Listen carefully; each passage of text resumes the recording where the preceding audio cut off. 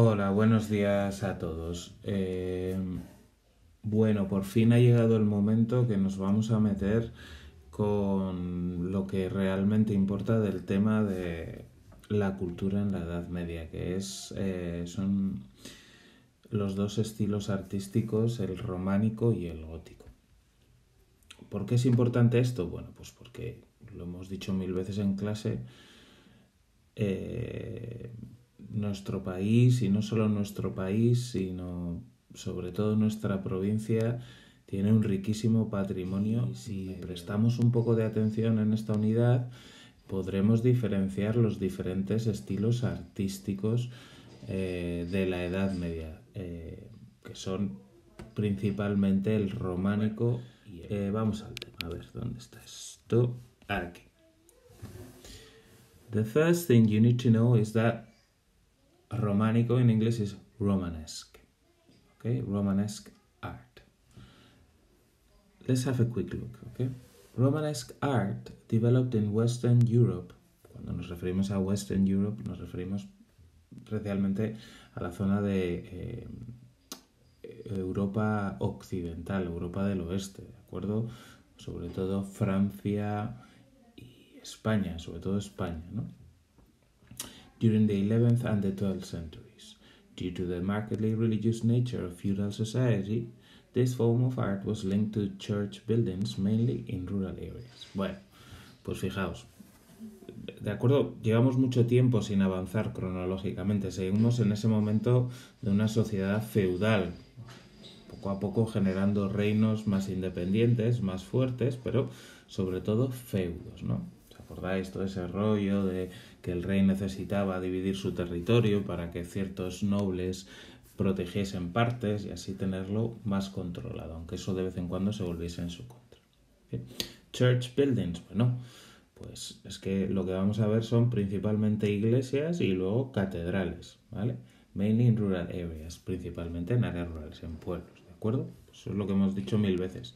Todos vuestros pueblos tienen su iglesia, románica, gótica, reformada, no reformada, medio caída, nueva, lo que sea, pero siempre en, utilizando estas técnicas artísticas. Eh, Romanesque art originate, originated in Burgundy, France, and from there spread to Europe. This was aid, no sé cómo se, aided, I don't know how to pronounce that one, which means helped, okay? This was helped by the order of Cluny, who built their monasteries in Romanesque style. Uh, ahí hay una errata en Romanesque. Romanesque style and by pilgrimage to Santiago de Compostela. Bueno, pues tenemos lo que hablábamos ayer, la orden de Cluny, que va bajando toda esa influencia, ¿no? De varias maneras, una es por el camino de Santiago, otra es por... ¿Qué tal, Emma, cariño? Dime. You have to get. Toque, toque, toque, toque, toque, toque, toque. What's the story, Emma? Daddy, you have to go down to the car to get my skirt off St. Patrick's Day. I will, I will. I'll finish this video and I'll do it, okay?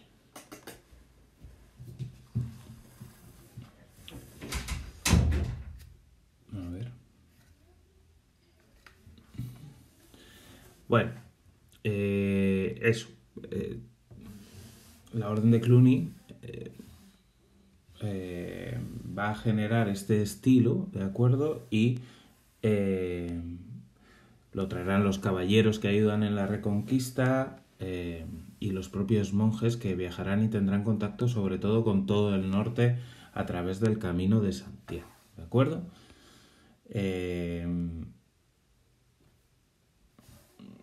¿Cómo funcionan las influencias artísticas? Lo podéis comprobar.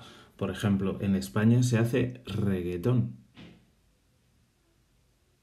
¿De acuerdo? El reggaetón se origina en Puerto Rico. Y es una mezcla de música latinoamericana con americana. Ya ves que siempre hay un rapero y siempre hay un cumbiero, ¿no? El que, el que mueve las caderas y canta en plan salsonero y el que se hace su rap, ¿no? Es todo esa, ese juego de influencias, ¿no? Y es porque, bueno, pues Puerto Rico es Latinoamérica dentro de Estados Unidos un poco, ¿no? Bueno, Pues esto en el arte es lo mismo, ¿no? Si tú viene un hombre y te enseña a hacer arcos de medio punto, que es el caso, bueno, pues tú y te parecen útiles, pues lo aplicarás también en tu forma de construir. Pues es un poco lo que pasa. Viene desde Francia y toda la península queda impregnada de, este, de esta idea. Eh, aquí empieza la tarea, ¿de acuerdo? Eh, otros años lo que he hecho es que, bueno, por parejas bajabais a los ordenadores y cada uno de estos elementos arquitectónicos los veis aquí, the tower, the barrel vault, the dome, the apse, side nave, central nave, pillar, portal, buttress. Bueno, pues los buscabais por internet y hacíais un dibujito de cada una de las cosas en su estilo románico, ¿de acuerdo? Um, we are not going to do that this time because, well, obviously circumstances change and it's not the best way to do it. But um, oh, let me see. Perfect. Okay. Um, you have it there. Okay. We'll talk about it later. I'm going to let you watch a video of a YouTuber that is going to explain this really well, better than I can. Okay. Bueno, fijaos. Vamos a ir poco a poco. Churches were, were built in the form of a Latin cross with two arms which were sometimes of different lengths. Vamos a ver, la planta de cruz latina. El otro día lo vimos en, eh, en el vídeo de, de, de, la abadía de Cluny, ¿no? que es la planta. ¿no? Imaginaos que vemos este edificio desde arriba, ¿vale? Ahora se ve, yo creo que esto se llama perspectiva caballera, pero imaginaos que lo vemos desde un punto cenital y lo vemos plano desde arriba. Bueno, pues la forma que tendría esto es el apse o el ábside, que lo tenéis a, a la derecha del todo, sería la cabeza y luego the central nave sería el cuerpo que va desde la cabeza a la entrada, al portal, ¿de acuerdo? Y hay unos brazos, como si dijésemos, como si fuese una cruz. Bueno, como si fuese, no, es una cruz, ¿de acuerdo? Esa es la planta de cruz latina, de Latin Cross, ¿ok? Es típica del románico y del gótico. Luego, cada, los brazos del transepto serán más largos o más cortos, dependiendo de la construcción, ¿de acuerdo? Y siempre recordad, the portal is going to face west and the apse is going to face east. El portal va a estar al oeste y el ábside al este, ¿vale? Bueno, pues eso es el todo el juego de luces, el uso de la luz, bueno, todas esas cosas, ¿de acuerdo? Luego, the naves are separated by pillars which help support the weight of the roof. Las naves, o sea, los pasillos, hay un central nave y side naves que van hacia el altar, hacia el ábside, eh, van a estar separados por pilares, pillars, columnas, ¿de acuerdo? Que esto es todo se convertirán en decorativos, pero en realidad lo que hacen es sujetar la estructura del templo, de la iglesia, ¿de acuerdo? Lo vais a ver muy bien en el vídeo que os voy a dejar.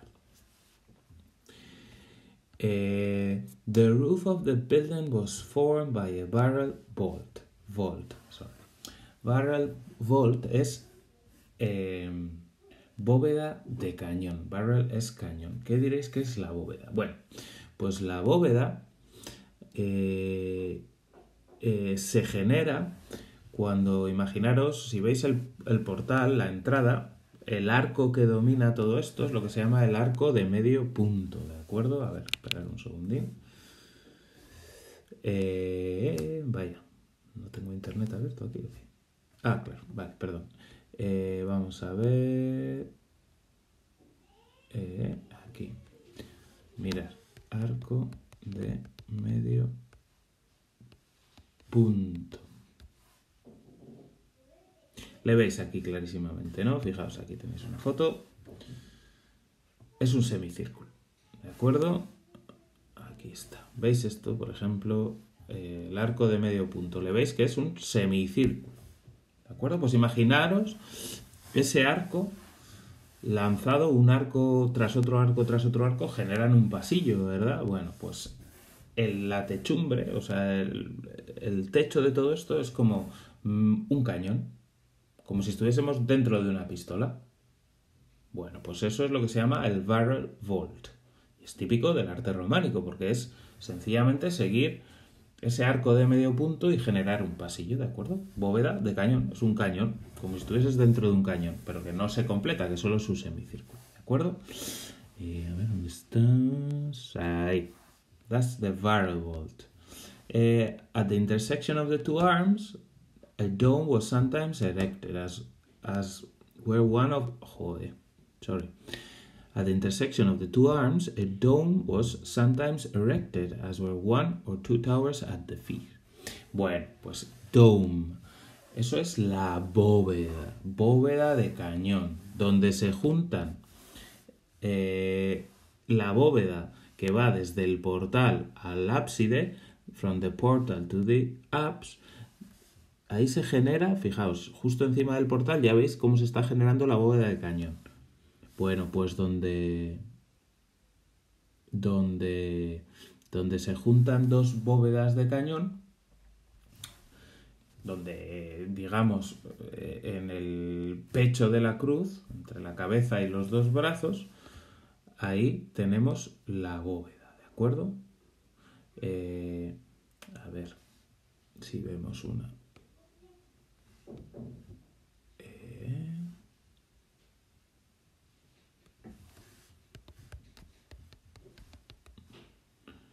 Romanesque eh, Dome. Vamos a ver qué sale aquí. Si sale algo. Esto. Bueno. Esa es muy avanzada.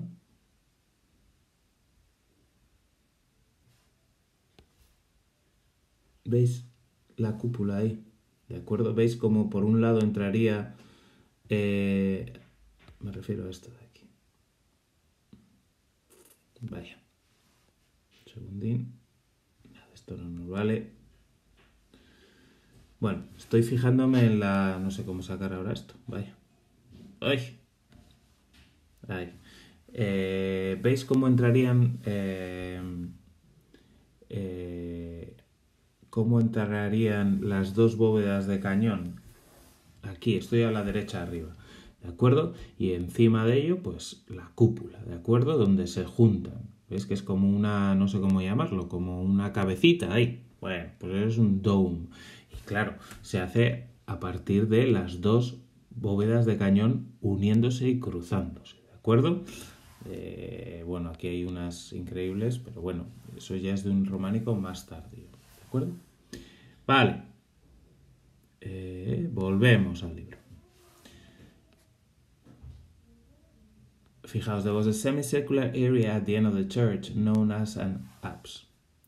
Volvemos aquí, fijaos dónde está el apse. Es lo que se llama el ábside, es la cabeza, ¿de acuerdo? Es lo que está al este, ahí, que sobresale, ¿no? Es como la cabeza de la cruz, justo antes de los brazos que la cruzan. Ahí es donde, hacia donde está el altar, es como si dijésemos, por donde luego sale el sol en el este eh, y, y genera el lugar para que el, el, cura, el sacerdote, pueda dar su misa. Porque esto recordad que esto se pone para que entren los fieles y puedan y se puedan llevar los rituales cristianos a cabo. ¿De acuerdo? Y las torres, the towers, que están al pie de. Eh, al pie de. Eh, de la cruz. ¿De acuerdo? Bueno. The walls were very thick. They were made of ashlar, cut stone blocks, reinforced by buttresses. Bueno, bueno, bueno, bueno. Vamos. Eh, las, los muros eran muy gruesos y estaban hechos de sillar, ashlar. Bueno, ¿qué es esto de ashlar? Lo primero.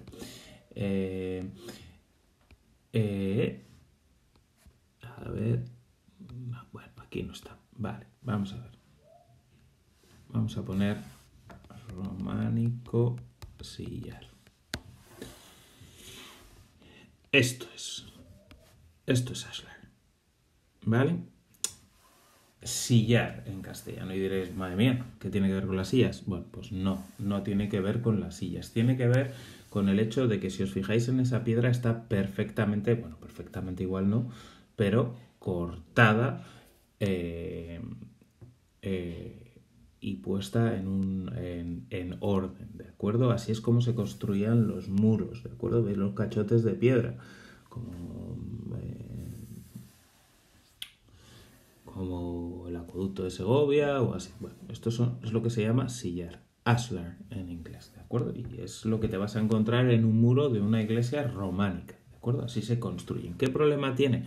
Pues fijaos, la cantidad de peso que, tiene que sujetar la estructura de la, de, la iglesia, ¿de acuerdo?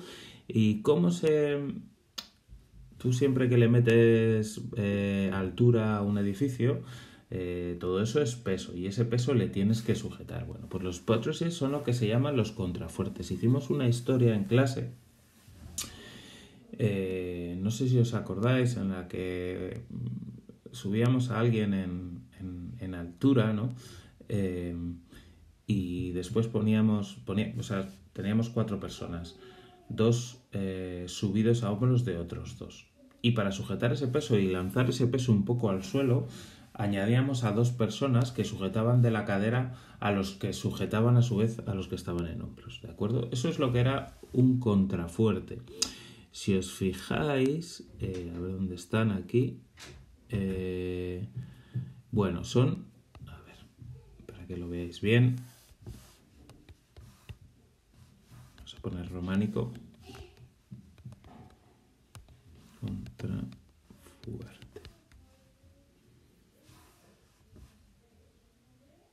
Ahí los tenéis. Si os fijáis, junto al muro, mirad, el monasterio del árbol, eh, junto al muro surgen como unos pilares no sé si los veis. ¿Veis todos esos pilares que están como sujetando y reforzando el muro? Esos son los buttresses. Those are the buttresses. And, and they help um, holding the weight of the wall. ¿De acuerdo? Esto es clave. Y la evolución de esos pilares vamos a ver eh, del gótico cuando se van... Mirad aquí más. Digamos, ahí tenéis. Eh, ahí se ven claramente. Eh, la evolución del gótico hacia el gótico, porque el, románico irá evolucionando hacia el gótico, pues vamos a ver cómo van cambiando esos contrafuertes. De momento les vemos ahí pegaditos al muro y veis cómo hacen, veis que toda esa fuerza que van generando los arcos y la techumbre hacia, hacia afuera, pues ahí están los contrafuertes para sujetarlos, ¿de acuerdo? Bueno, vale, pues ha sido el comienzo de la arquitectura románica. What I want you to do. No, sorry. What do I want you to do? Okay. I'm going to leave. And this is going to be my last class for the week. Okay. Esta va a ser mi última clase de la semana con vosotros. Because I'm going to uh, give you a little bit of extra work. Okay. I'm going to give you a link to a video of an architect, right? You have to listen to her and summarize what she says in a page. It is very important that you understand what she says in the video and what she explains in the video because she's going to talk about the techniques using uh, used uh, when building in Romanesque style. Okay? quiero, os voy a dejar el, un, un, link a, a, Mirad, es esta chica que hace una descripción, eh, se llama Ter, es arquitecto, y hace una descripción absolutamente brutal eh, de. Porque nosotros estamos viendo casi el, eh, estamos viendo los elementos, casi decorativos, ¿de acuerdo? Bueno, esta tía os va a explicar exactamente por qué el románico es románico, la arquitectura románica es románica, cuáles son las decisiones de los arquitectos y por qué, ¿de acuerdo? Y además lo va a hacer en un tono relativamente gracioso. Así que os dejaré el link a... esta chica. ¿De acuerdo?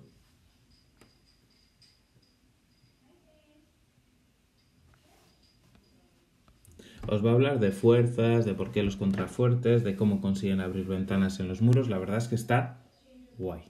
¿vale? Así que este fin de semana os voy a, os voy a ya mañana nos voy a dar clase me vais entregando los ejercicios que que vimos ayer y esto para el lunes con tranquilidad, lunes o martes, me lo dais, que es el resumen, lo pondré ahora en la descripción, el resumen del vídeo que os voy a dejar. ¿De acuerdo? Bueno chicos, eh, espero que sigáis bien, eh, que, hagáis un poquito de trabajo porque os va a venir guay para la mente, para que haga un poco de ejercicio que, y, sigáis igual de majetes que siempre, que salgáis a la ventana a respirar ese aire fresco que ahora estamos dejando que contaminamos muchísimo menos, así que disfrutar de ese aire fresco que eh, sorprendentemente lo echaremos de menos. Venga chicos, os quiero por todas.